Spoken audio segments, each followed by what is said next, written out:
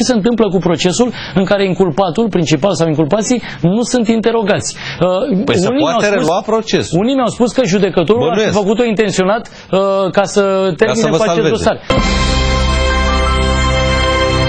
Mi s-a părut mereu una dreptate ca ziarist să fii într-un ziar al opoziției și să vezi cum uh, nu ai bani deloc în, uh, în buget, iar un ziar al puterii să aibă tot timpul bani mai mulți. Mie asta nu mi-a plăcut niciodată în România de 20 de ani, deși de multe ori firmele care editau acele ziare erau uh, chiar și transnaționale sau așa mai departe.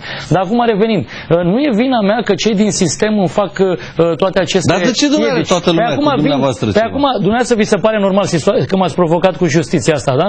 Da. Uh, nu am foarte mult, uh, nu am voie să vă spun foarte multe din dosar. Dar dumneavoastră vi se pare Ziceți-mi foarte puțin. normal ca în 2005 un cetățean să meargă la un parchet și să zică i-am dat 1500 de dolari lui Dan Diaconescu și acolo să dea o declarație în Îi zicea acest sens. 200 de mii, poate. Nu, nu, nu, 1500 de dolari dacă luați dosarul. Și uh, 10 ani mai târziu eu să fiu ridicat de pe stradă pentru asta. Iar când începe procesul, încă vreo 2 ani mai târziu, tipul uh, să nu mai vină acolo, fiindcă a decedat între timp, uh, Dumnezeu să-l, să-l odihnească, și să vină un șofer de-al său, fiindcă el spunea că banii a trimis printr-un șofer la Dan Diaconescu, și șoferul să apară ca o floare la tribunal să zică nu-l cunosc pe Dan Diaconescu, l-am văzut la televizor, păi îi întreabă judecător, ai fost vreodată la OTV? Niciodată. I-ai dat 1500 de dolari? Niciodată. Păi zice șeful tău că, ce da știu, șeful de atunci m-a obligat să mint, fiindcă șeful avea o Așa. anumită colaborare și în fine am mințit și vă rog să mă iertați. Păi asta e, asta e acuzație Și pe care baza să-ți aducă... acestei acuzații Și eu ați pentru fost asta am stat trei condamnat? zile în pușcărie, dar nu numai atât, stați să vedeți, că după ce s-a terminat acest proces s-a schimbat judecătoarea, mai era un termen în care trebuia să se pronunțe, Așa. uh, mă rog, sentințele și s-a schimbat judecătoarea, a apărut un judecător de 26 de ani din Constanța, la primul său proces din viața sa, un judecător stagiar, care m-a condamnat de la, la 3 ani de închisoare. Și eu am zis, domnul judecător, dar ați uitat să mă ascultați și pe mine. În sensul că vechea judecătoare care Da. uh, anchetase această cauză timp de 2 ani, O ne judecată, întrebase, nu anchetați. ne întrebase în prima ședință, uh,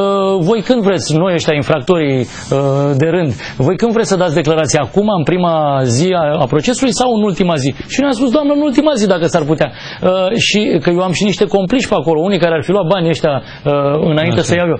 Și uh, judecătoarea ne-a programat pentru ultima ședință. Judecătorul cel tânăr probabil că a primit așa un ordin de agresiv, încât nu s-a mai uitat pe acolo prin dosar dacă am fost audiat sau nu. Și acum de v-am spus, procesul s-a cam clasat, fiindcă eu am, am uitat, Cum s-a ei au clasat, uitat domnul să mă audieze. Diaconescu? Nu prea s-a clasat. Domnul Ciutacu, Uh, tot, Deocamdată uh, sunteți numai- condamnat și aveți un recurs. Da, care sunt trebuie condamnat, să-i dar faceți față. uh, recursul se pare că nu va mai începe, fiindcă... Cum să nu uh, înceapă, domnule, recursul? Ascultați-mă să vă spun ceva. Domnul Eu nu am fost Pielera, la facultatea de drept.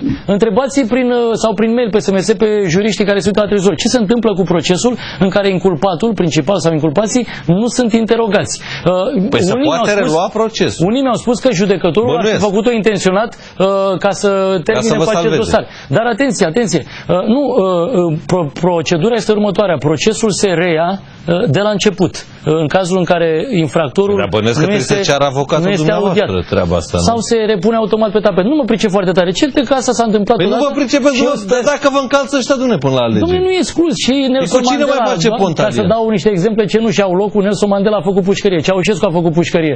Foarte mulți au făcut Nelson pușcărie. Mandela de la Caracal. Cine mai pomeni Nu, nu, Nelson nu. Mandela la Caracal?